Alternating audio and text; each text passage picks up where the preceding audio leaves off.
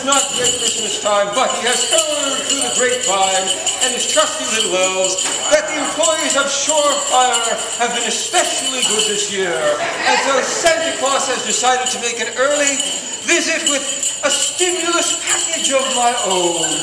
So you'll all be getting a little Christmas gift that will help you in your Christmas shopping this year. So I look forward to meeting each and every one of you, and I Merry Christmas. Did you get my good